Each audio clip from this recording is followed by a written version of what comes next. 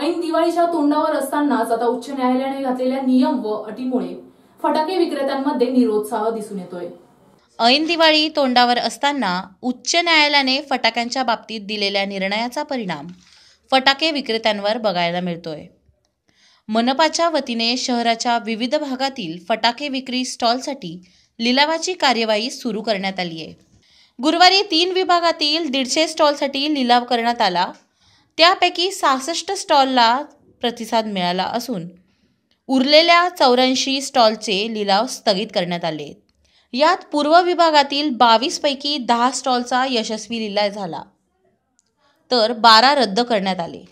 पश्चिम विभागात साठपैकी तीस ठिकाणी प्रतिसाद मिळाला तर पंचवटीत सदुसष्टपैकी सव्वीसचे लिलाव झाले असून बाकीचे सगळे स्थगित करण्यात आलेत. गोल्फ मैदानावर पन्नासपैकी एकोणतीस तर संदीप हॉटेलसमोर वीसपैकी एक स्टॉलचा लिलाव झाल्याचे दिसून येत आहे. सर्वाधिक भाव सत्तावीस हजार तीनशे होता तर नऊ हजार पाचशे हा सर्वात कमी भाव दिसून आला आहे शुक्रवारी सिडको सातपूर आणि नाशिक रोड विभागात लिलाव होतील असे सूत्रांकडनं कळलं आहे Daksh police news bureau Nashik.